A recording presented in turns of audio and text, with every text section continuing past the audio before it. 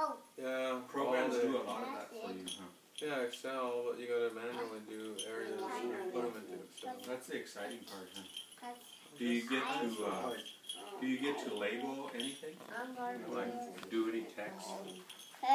Like notes or anything? Yeah, you have to. You do? Yeah. All day I was working on one project, like three pages. Is there anything